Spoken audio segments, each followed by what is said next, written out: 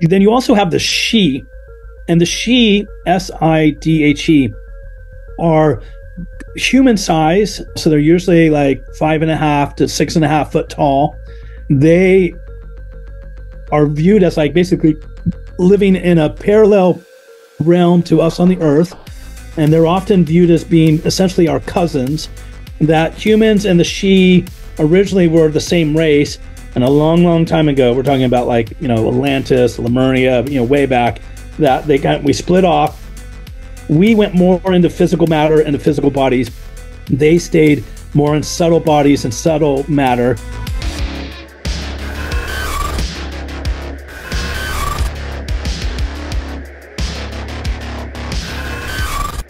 Welcome back. I'm here with Dr. Sean Esbjörn-Hargens. Sean, welcome back. Yeah, good to be back. Excited to dive in and keep exploring all these crazy topics. Yeah, and this one I've been intrigued with it, but because it's I don't, I don't want to say the least evidence. I, I would say at least in my experience, it's talked about the least often, right? So like in my experience, that's probably I mean, I'm not saying that's true for everybody, but people talk about cryptids all the time. People talk about UAPs and then paranormal, all that stuff. But the Fae, not so much. So, based on your research, experiences, interviews with experiencers, what are the Fae? Uh, where can people learn about them? How much serious scientific study has there been? Regarding their existence, et cetera, et cetera. I asked you a very simple, like straightforward question. with, you know, probably hundreds of years of research involved, but you know, yeah. let's start there. Yeah, great.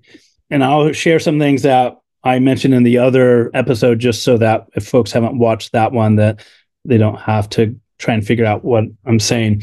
So one thing that's very interesting to me is there's a lot of literature around fairy beings and encounters with and experiences of fairy beings as much uh, as there is in the UFO, alien, extraterrestrial context, right? So there's not as much around interactions with angels, which mm-hmm. is interesting. Um, but when you're looking at interactions with ETs, there's a lot of material. When you're looking at interactions with fairy beings, there's a lot of material. There might be more material with aliens just because it's a little more like you pointed out, it's a little more popular. It's a little more, you know, safe. Even though there's a major taboo around talking about aliens and ETs, there's more of a taboo talking about fairies. you know, and right, and, right. and, and, and I, and I think the reason primarily is, you know, you didn't have kind of mainstream articles about the Fae in the New right. York Times like you did right. with. And the other thing too is we are at a technological level of development that we keep finding more and more exoplanets, right. it's much more likely or statistically likely that there is life on other worlds, and much less statistically likely that we would be the only form of life in the universe.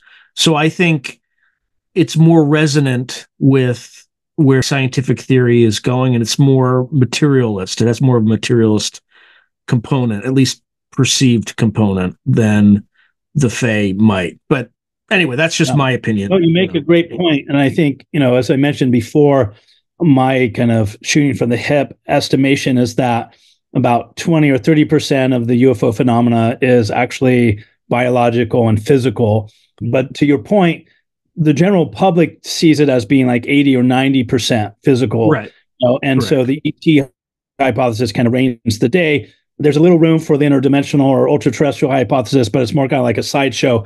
But when you really look at what Lou Elizondo and Chris Mellon and others are saying, they're saying it's not ETH, right? They're saying it's it's something other than ET in the traditional sense. Like they're saying it's either ultra terrestrial or crypto terrestrial, or but anyways. But you're right. There's a way in which it fits our kind of scientific paradigm because we can imagine that there are physical beings on other physical planets, and that right. somehow they've managed to get here. When the United States and China clash, the world will never be the same, especially when forces beyond reality threaten to intervene. What if the United States went to war with the People's Republic of China?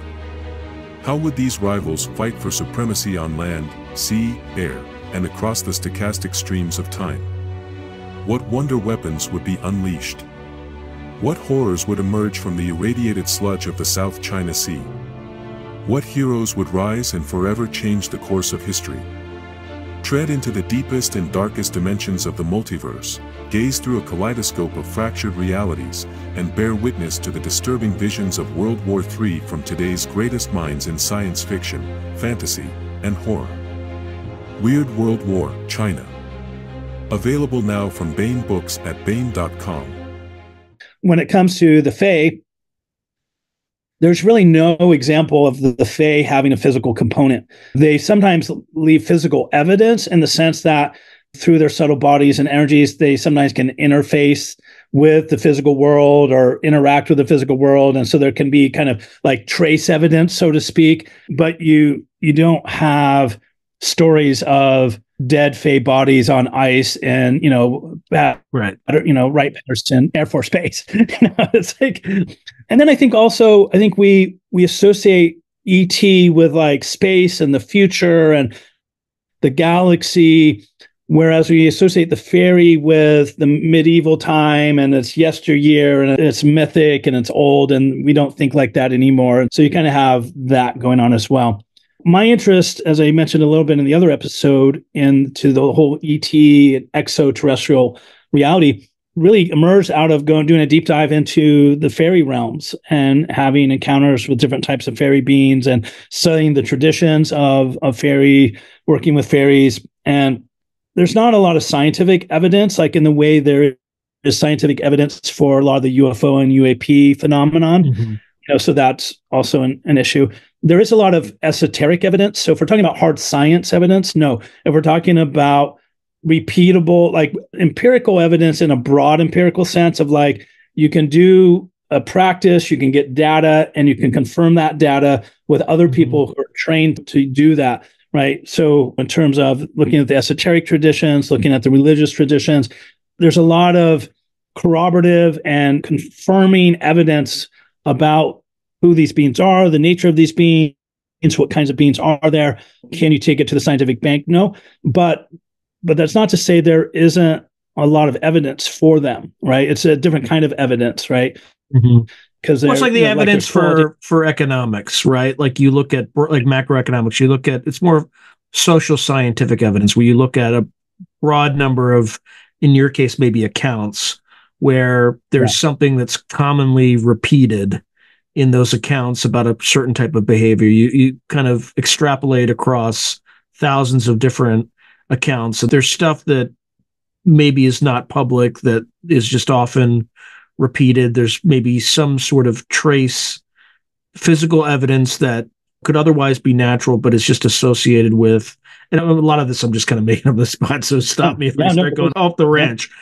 But uh, maybe so-called fairy rings, I think, is like a physical right a manifestation right. of whatever this is so i think what you're trying to say it's more akin to a discipline like anthropology or economics like a social science or psychology than it is like quantum mechanics right? Yeah, it, it, yeah exactly. Okay anyway just continue i didn't want to and so i was having these experiences of both kind of fairy beings and galactic beings and i found that very confusing because you know as i mentioned in the last episode when i'd go to my practitioners working with the fairy traditions, they didn't want to talk about ETs. And when I would go to my colleagues that were exploring the whole UFO phenomena, they didn't want to talk about fairies, or if they did, they just kind of took the page out of Vallee's playbook and just kind of assumed that those fairy beings are just was a misinterpretation of alien encounters, right? Right. And so you see this dynamic where some people will reduce aliens to fairies and fairies to aliens.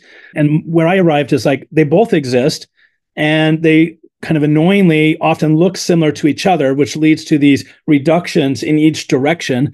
And so I ended up reading this book called Meet the Hybrids. And it interviews like eight people who identify as being hybrids with different ET races and several of the authors that are being interviewed for their chapters talk about their ability to see and interact with ETs or uh, extra dimensionals, and then also their ability and experience of interacting with different types of nature spirits and elemental beings. And so this was a big moment for me because all of a sudden here were a few people who were experiencing both types of beings. And before, I only interacted with people who experienced one or the other. To advertise on Through Glass Darkly, email throughglassdarkly ads at gmail.com. So I reached out to these people, Jacqueline Smith and Vanessa LaMorte, and had conversations with them to understand their experience of both types of beings and to better understand my own experience with both types of beings. And it basically just helped me realize that, yeah, actually, both kinds of beings exist and have to be careful not to reduce them to each other. So, one way that I summarize this is that there are fairies and there are ETs or EDs, and for with ED, I mean extra dimensional. There are some fairies are viewed as ETs or EDs, some ETs and EDs are viewed as fairies. Some fairies look like ETs and EDs. Some ETs and EDs look like fairies. Some ETs and EDs and fairies might actually be something else entirely. And then there's Bigfoot, right, who is actually viewed by some as a fairy and by others as an ET or an extra dimensional. And it only gets more interesting the more we explore, in that there are actually galactic fairies, fairy and elven beings that live on other planets some of whom are spacefaring. And then there are intraterrestrials, ETs and EDs, that live here inside the Earth or like in another dimension overlaid on ours, that in many ways come across as fairy like or Tolkien esque. And then some abductions are fairies making contact with us during sleep. And some abductions are ETs abducting us during sleep, right? So it's just gets wild. It's just like there, it kind of is going all over the place. It's very messy. And then to your point, you know, as we were wrapping up, or maybe it was like in the middle of our last conversation, you know, I was talking about the galactic humans and I gave two possibilities and then you gave three others, which was wonderful.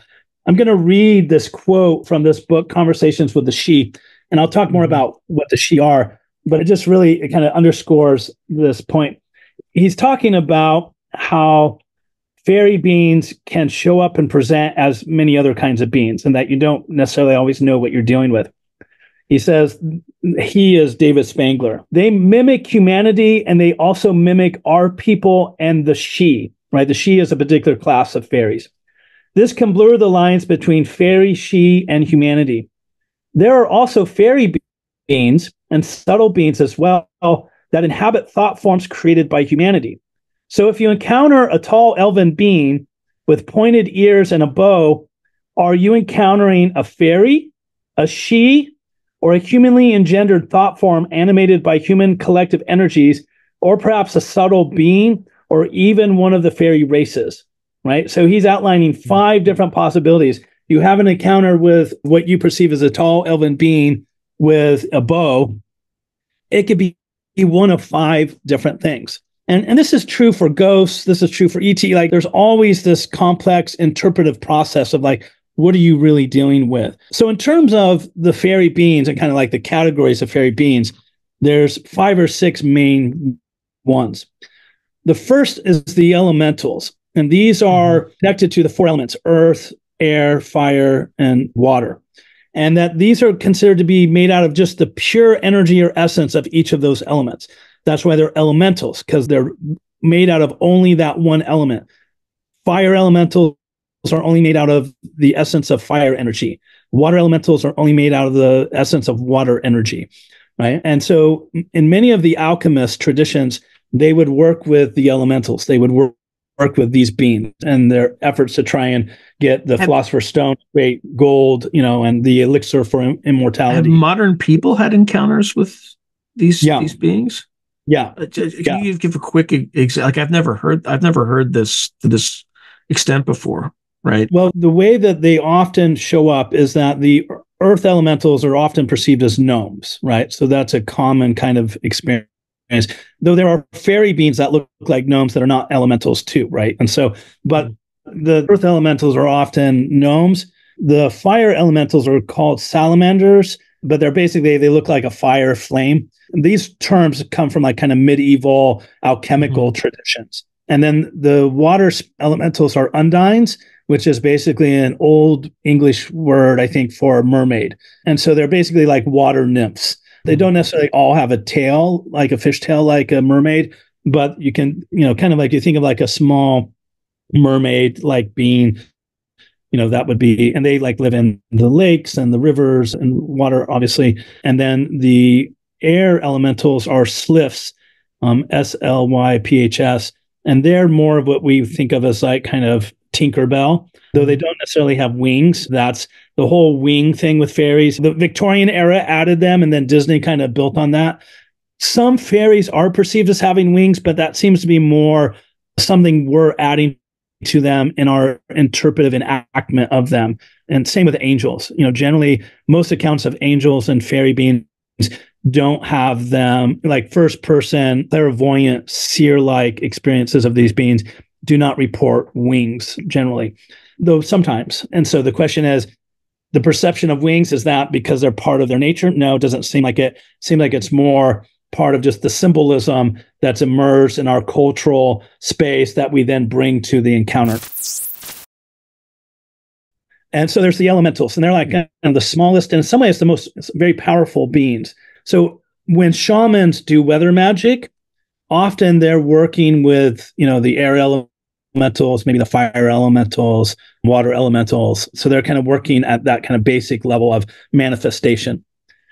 So then there's the nature spirits. Nature spirits mm-hmm. are kind of what we generally think of as like all the little kind of gnomes and fairy beans and sprites and brownies and kind of all the things from our fairy stories talk about basically nature spirits. And they look like little fairy beans and they are described differently in different geographies, but they often have similar kind of functions and roles.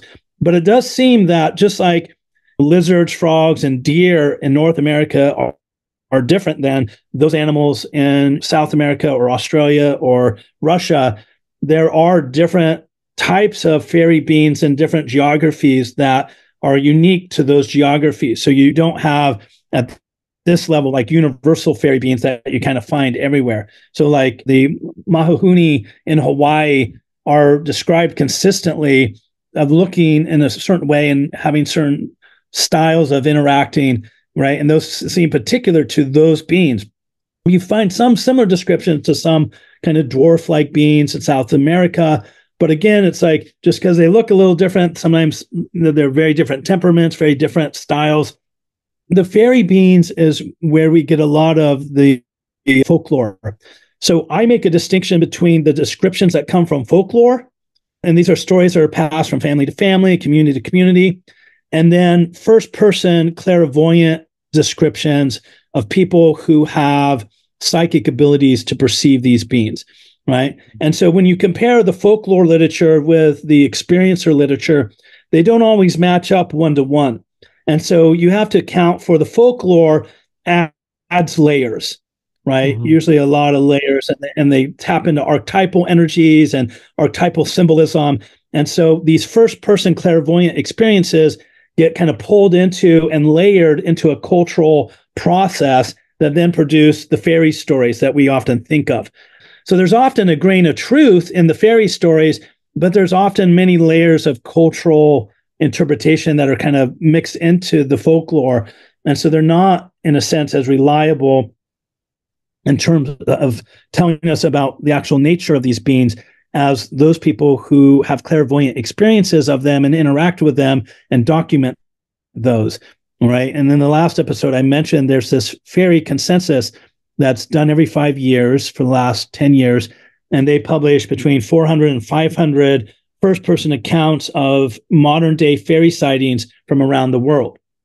I went to in my during my master's when I was finishing my master's and getting ready to do my PhD, I went to Bhutan and lived there for six months. And part of what I wanted to do there was I was studying environmental studies there, but I also was interested in how they approach nature spirits because you know a lot of the shamanic traditions work with them, and Buddhism and Vajrayana as kind of one form of Buddhism in Tibet and Bhutan have kind of incorporated a lot of shamanic elements. So their form of Buddhism actually makes room for kind of all these fey beings. And I was very mm-hmm. interested in that because in Christianity, the Fae have generally been demonized as of the devil, literally, right? And so, so I'm very curious about how Christianity dealt with fairies, basically kicking them out of the faith, and how Buddhism dealt with them. And that was basically bringing them in and often making them protector beings of different areas and of different teachings and things. So I found that very interesting that our different religious traditions, kind of how they've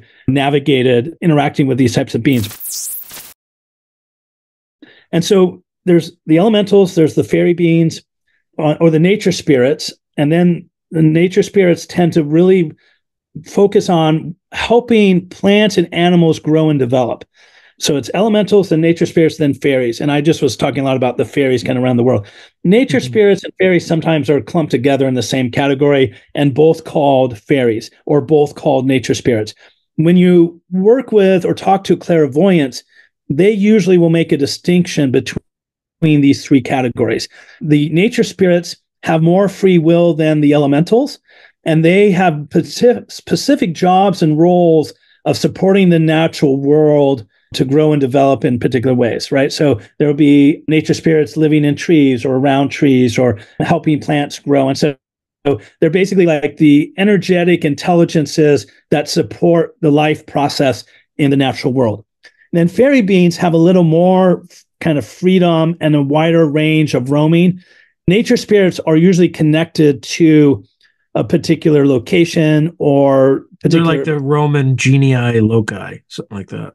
Yeah, exactly. Yeah. And then fairies, you know, the, the, kind of traditional fairy beings can move around kind of from one valley to another valley kind of thing, or, you know, one area. And the fairies tend to have more activities that look human like. Nature spirits don't like play games or do, you know, like, so, but fairy beings often are reported like making music Nature spirits don't make music so much. Fairy beings do. So fairy beings are kind of like this third class, like, like often a little bigger, kind of a little more dynamic. And then you have devas, which are kind of higher order being that kind of oversee like a forest or even sometimes a building or a river or a mountain. And so they kind of help guide and give support to the other three classes, the fairies, the nature spirits and the elemental. So the Deva is kind of like the CEO, right, of some kind of natural space, usually, but sometimes can be like maybe they oversee a, a city park or mm-hmm. maybe a church. Like some devas are kind of like urban and some are like kind of natural. And a lot of times the devas are thought of or mistaken for or described as angels.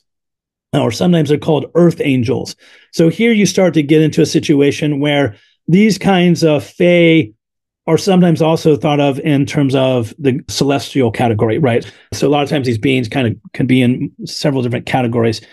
Then you also have the Sidhe, and the Sidhe, S I D H E, are human size. So they're usually like five and a half to six and a half foot tall. They are viewed as like basically living in a parallel realm to us on the earth and they're often viewed as being essentially our cousins. That humans and the Sidhe originally were the same race, and a long, long time ago, we're talking about like you know Atlantis, Lemuria, you know, way back. That they got we split off. We went more into physical matter and physical bodies. They stayed more in subtle bodies and subtle matter, and that they you know kind of have cities, they have jobs, they have activities that they look like Tolkien's elves but that's often the result of our own thought forms and them mm-hmm. sometimes using uh, those thought forms to present themselves to us. And so there's been kind of a whole like Sidhe renaissance in the last 10 years where David Spangler and a number of other authors have been sharing more their own experiences with the Sidhe and talking about them and describing their reality, their civilization, their activities. And so the Irish often talk about the Sidhe um, right. as well as these other types of beings.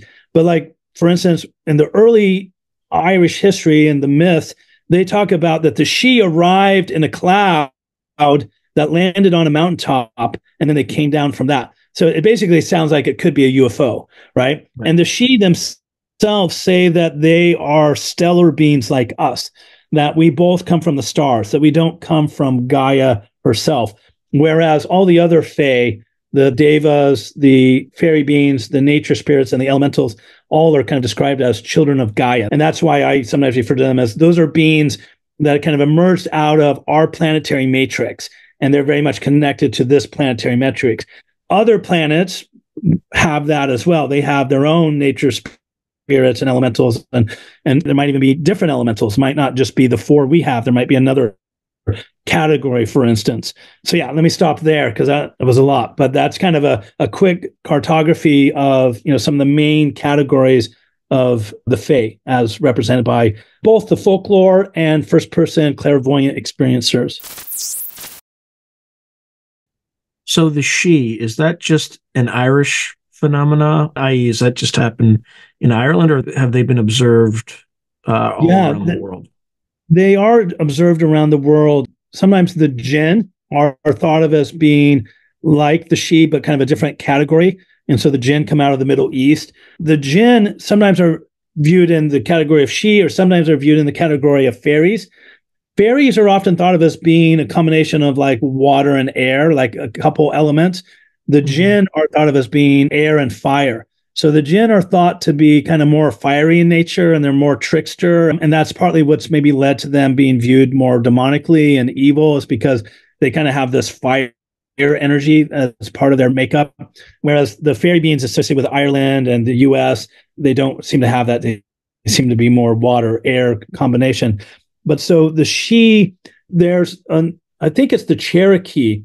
They have a number of myths and legends that talk about basically the Sidhe, and their descriptions of these human-sized fairy beings that live in this other dimension match very closely the Irish description. And then also in Iceland, they have the hidden folk that they talk about. And the hidden folk are another kind of version of the Sidhe. They're tall, human like beings. So you do find descriptions of the Sidhe in different parts of the world, and they seem to be describing more or less the same types of human like beings that share kind of on some level common ancestry with us and are more human like than the other Fey beings.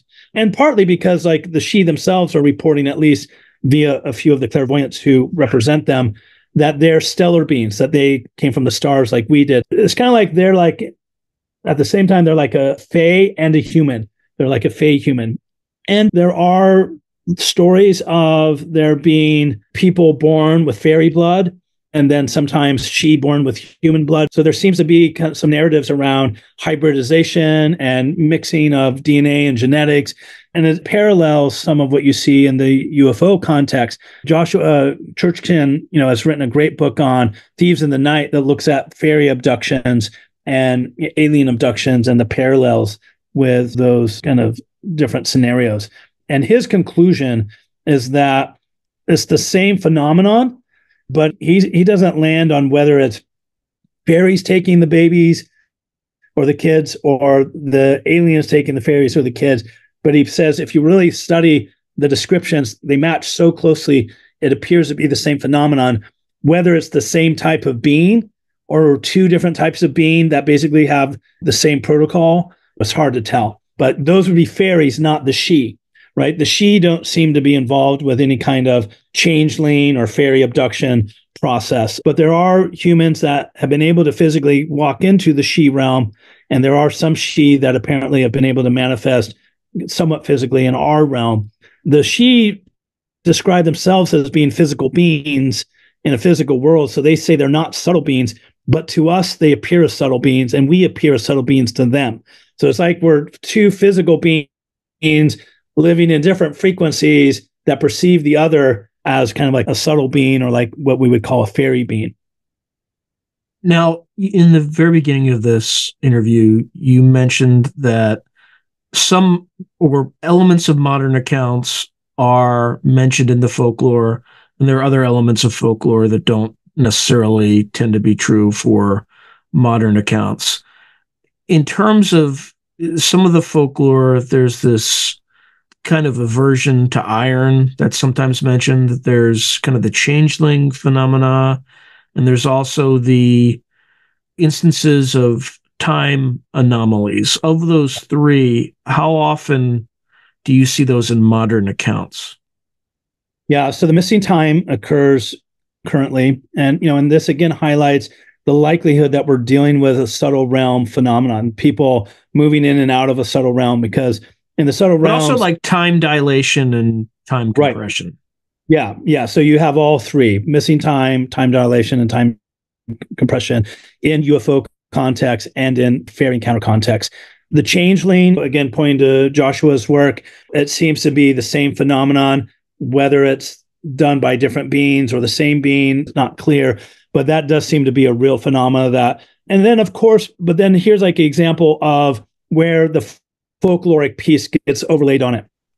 So the folkloric piece often, if a child was born with Down syndrome or in some way was mentally handicapped or had a physical deformity, then and people would claim it was a changeling and then leave it out in the forest for the wild animals to get for it to die due to exposure to the elements right and so you get like a real phenomena of some kind of abduction occurring but then it gets pulled into a folkloric kind of narrative that's used to justify arguably abhorrent behavior on the behalf of humans who arguably don't know better and they really believe this and whatever.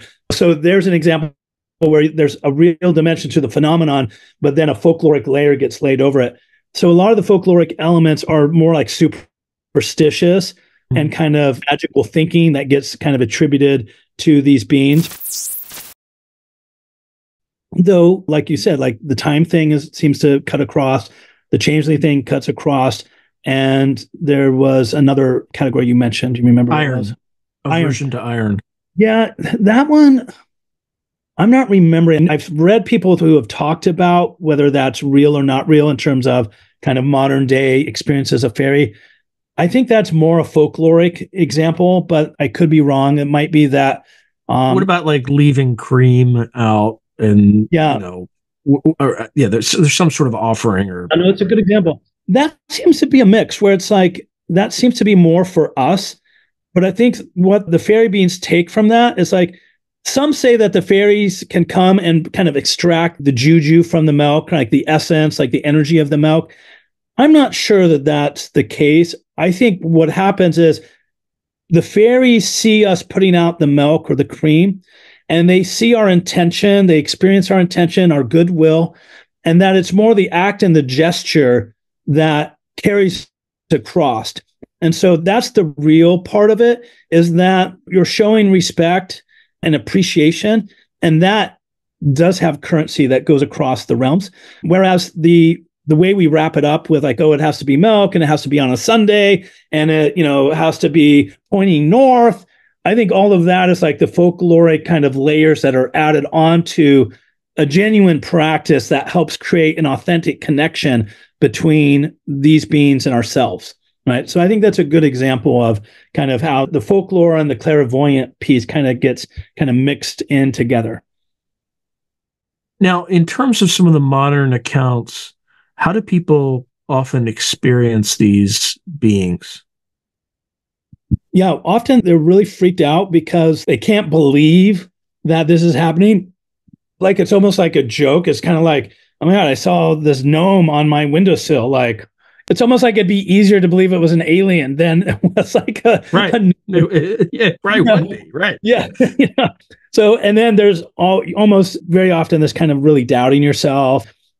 And then usually it's like person has maybe a couple experiences in a like a couple day period where they kind of realize, okay, this wasn't just a one-off thing. Like I saw that the little gnome being on the windowsill on Friday, and then something happened on Sunday, and then my daughter said something that she saw something out in the garden that she thought was a fairy on Tuesday, and so all those things are connected. And so I'm not going crazy, but I have no idea what it is I'm dealing with, right?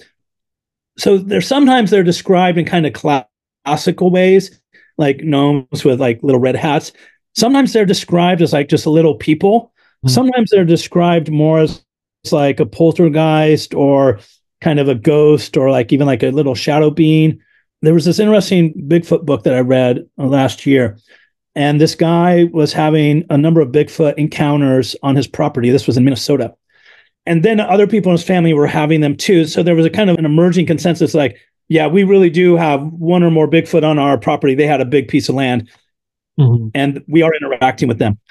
And then they would often um, squatchers, you know, people hunting Bigfoot and somewhere, they will go and they'll put out little gifts like, little marbles and shiny things as kind of again like a token of like trying to a peace offering.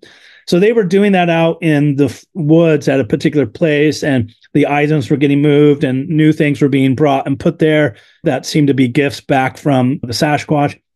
But then they started having this poltergeist activity in their house. And they thought it was the Bigfoot were coming into the house and like messing with things. Or and then they had a psychic come because they were like trying everything like all right like hey you know my friend knows this woman who's a psychic and you know okay let's bring her over and just see what she says. Right? So right, just throwing so everything comes, up against the wall and seeing what right, sticks right. right yeah exactly. So she comes out and she's like checking things out. She's like oh yeah okay here's the portal where the bigfoot are coming in and out of their dimension. Like okay, that's what's happening over here. She comes to the house and she's like no you don't have any bigfoot you know interacting with the house you have a bunch of nature spirits, or what I think would maybe be more accurately called fairy beings. They've gotten activated because of the Bigfoot activity on the property. It's kind of it's ramped up. They're like they're kind of like really like freaking out about it, and really kind of like it's it's added a bunch of energy into their space.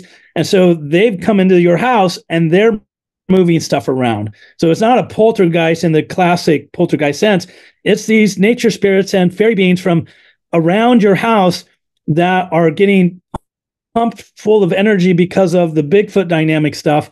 And they're coming into the house and they're messing with your keys and they're messing with this and that. And right. And so, but they never thought of that. They just assumed it was the Bigfoot because they had seen the Bigfoot and had experiences of the Bigfoot. So now they're explaining everything that they're encountering through the Bigfoot lens. Whereas this woman comes and suggests, well, actually, maybe it's this other phenomenon, these other beings that are doing that part of it right? When you, know, you said so, they're you said they're moving, they were moving the keys and stuff like that. Yeah, so sometimes like it disappearing and then showing it like a jot, J O T T, just one of those things, which refers to like uh, things disappearing like a ring or a key and then showing up in another spot, which is kind of classic poltergeist activity. Or so, so we we talked about. Stephen Mira, I think in the right. last episode. There was an incident where they had a mug and it was part of a collection of mugs. So they were virtually identical mugs. And they had a poltergeist experience where the mug disappeared and then reappeared. They did a chemical or a molecular analysis on the oh, mug wow. that reappeared. It looked like the same mug, but it was hmm. not the same. Oh, wow. It was it had a completely different molecular signature. So it was as if I think his hypothesis, and again, I don't want to steer too far afield, but I think his hypothesis is that it's some kind of like a quantum anchor where yeah. a poltergeist uses it because what they did is they took this mug and they, you know, took it someplace else away from the house. So yeah. the poltergeist activity started occurring in the new location. And eventually the poltergeist or whatever the phenomenon was eventually migrated back to the hmm. house. Mm. But yeah. There's some other weird thing going on. It's like a kind of like a, you know, for lack of a better word, a doppelganger. But the yeah. material, it, it looked the same. Like when it yeah. looked almost identical, but when you looked at the actual substance, it was not the same. Anyway, I didn't mean to take you off track. Oh, so no, when they're saying keys missing and reappearing, and kind of the the uh, kind of these beings are reacting to the energy of the cryptids. Yeah, it's also it's like the poltergeist the phenomenon too is interesting because the classic view was you have a disgruntled prepubescent female in the house and she has all mm-hmm. this pent up emotional energy for different reasons and that that creates a psychokinetic capacity for her to move things yeah. and that creates fear and then the fear opens up kind of a interdimensional door where then negative entities or even ghosts from connected to that property kind of start showing up. So now you have ghosts like three or four different ghosts connected to the house or kind of part of the situation. Then that freaks people out more. And then you get negative entities going oh look like there's some good fear going on down there. Let's go check it out. So then you get authentically negative beings coming in and amping up the fear factor, right? And so then you have someone come in and say, "Oh, it's just this girl and she's just pissed off about something and once we take care of her this will all disappear." Sometimes that is is a big part of it, but it kind of reduces all the other phenomena to just her emotional psychic capacity, right? And it's mm-hmm. kind of like often these phenomena at Skinwalker Ranch, you have this all the time. You know, it's like you get the Bigfoot, the ETs, the fairy beans, the ghosts, the poltergeists. It's just like it just becomes a paranormal shit show, right? You know, we're just like mm-hmm. all this stuff is happening, right? And then we tend to try and just put it in one box, like, oh, it's all the girl, or oh, it's all the poltergeist. The uh, no, right, no, right. it's just the Bigfoot, right? Right. It seems that this phenomena, because there's quantum dimensions, there's subtle dimensions, there's consciousness dimensions, that you know it's kind of like bees to honey. Once there's a pot of honey out right whether it's fear or like a mug that's like kind of a quantum anchor or any number of things it's kind of like beans from all these different domains are kind of like oh let's go check that out right? And then it's like and we and because we have a very anemic cosmology right we don't have a very rich view of multiple types of beings inhabiting the world around us then it's it's all a ghost or it's all this or it's all that. Like we don't have the sense of going oh well this part of it might be a ghost and this part might be the nature spirits coming in from outside because they're kind of gotten all excited or maybe bigfoot's involved. Once we go there it just sounds so effing crazy. Like we just kind of shut it down. Just like nope like this is too much. It's like pandora's paranormal box is open. Yeah it's almost like you have to take it one step at a time and right. try to categorize. But as you mentioned, like so much of it, yeah, so much of it overlaps. And the other issue too is where I think your expertise uh, comes in extremely handy is that most people are looking at this through the lens of one discipline, right? So you have quantum physicists looking at it. They're looking at the double slit experiment right? Everything is kind of an equation, everything is waves, which is probably part of this. There's probably yeah. some wave component, vibrational frequency, and then you end up shifting into, you know, it just might just be the degree at which the atoms in your body are vibrating, right? Maybe that's kind of like switching a frequency on a radio station.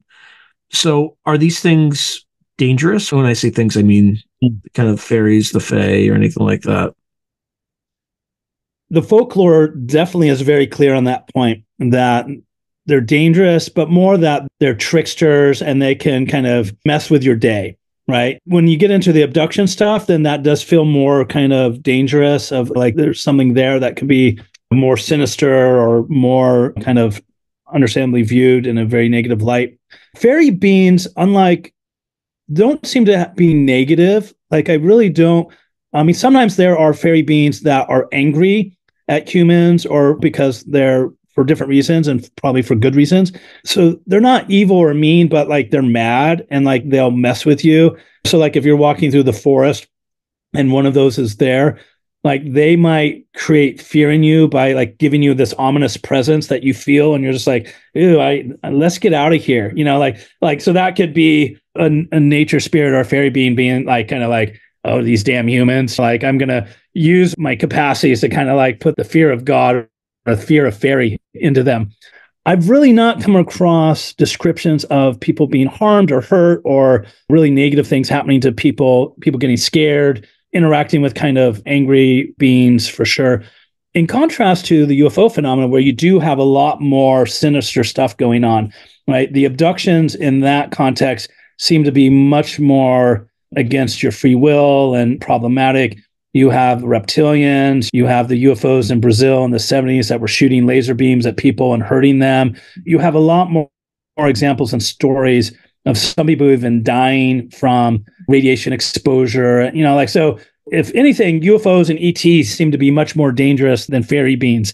And that partly is probably because fairy beans, as we talked about before, are almost exclusively subtle realm phenomenon. They don't really have a physical component and they don't seem to have the energy or the capacity to kind of manifest in physical embodied forms the way some ET beings might do that, but they will report it takes a lot of energy. And so some ET groups seem to be able to move in and out of like an energy mode to a physical mode. And so I think that plays a role with kind of they can cause more harm. The ETs can cause more harm because they're they interface with our physical world m- more clearly than the Fae do. All right, last question because I think we're pretty much out of time. Have you had any experiences with these beings? I have not in like a clairvoyant sense. Like I always want to have like a visual experience. I have had like in meditations, I've had kind of visionary experiences that have emerged that seem in my interpretation and working with some of my teachers and other people that work in space kind of have led me to interpret them as like those were encounters with different fairy beings and elementals. I've had experiences going into the woods and feeling them like and doing different practices where I can sense them through my body and then through intention and meditation kind of have interactions and then going back to those places and having additional interactions but like you said i always have to hold all of this very lightly because there's mm-hmm. cognitive bias there's cultural interpretations right so I don't take any one of my experiences as like a definitive bulletproof experience I'm always second guessing myself. I'm always trying to get input from mentors and teachers. I'm developing my own kind of Gnostic ability to discern and to trust my experience opposed to just my rational mind, kind of always playing the what if game. Right. Mm-hmm. So, but my sense is that over time, right, that I get better at that and I feel more capable of discerning authentic encounters and receiving information but I I then have to verify it in various ways and you know work with it. For me, it's part of the learning has been learning to work in a mode of perceiving and discernment that's very different than rational scientific modes that I've cultivated in the context of my education and work and so forth. So I take it in baby steps, but I do feel confident in saying I have had experiences with elementals, nature spirits, not so much fairy beings, but the Sidhe and devas. So, of all the ones we've talked about, fairy beings are probably the ones that I've had the least kinds of clear interactions or encounters with. So, yeah, that's a good note to end on.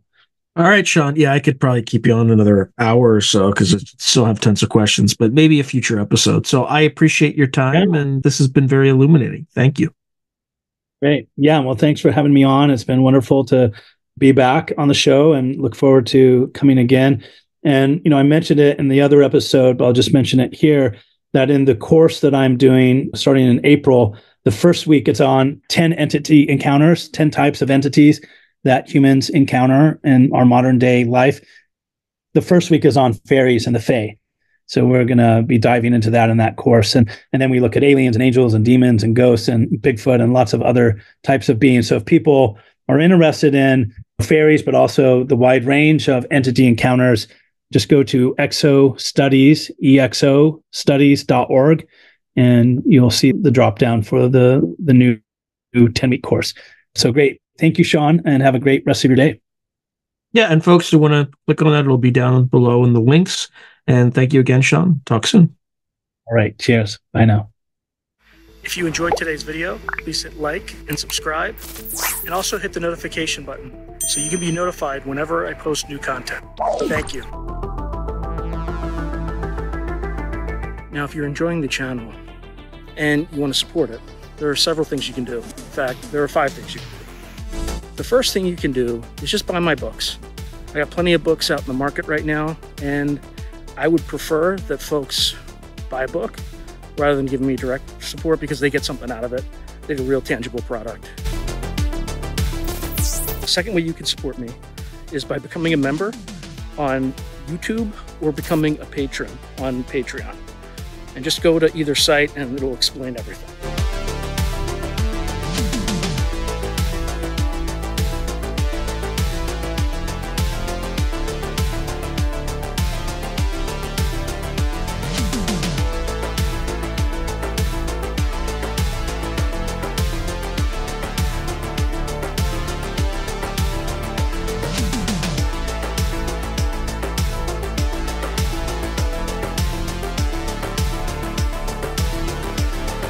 Third way you can support channel is by checking out my merch site,